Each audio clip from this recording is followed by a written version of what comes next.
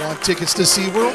SeaWorld San Diego has a summer full of good times as the park transforms after dark with extended hours and nighttime only shows, including SeaWorld's very own Shamu.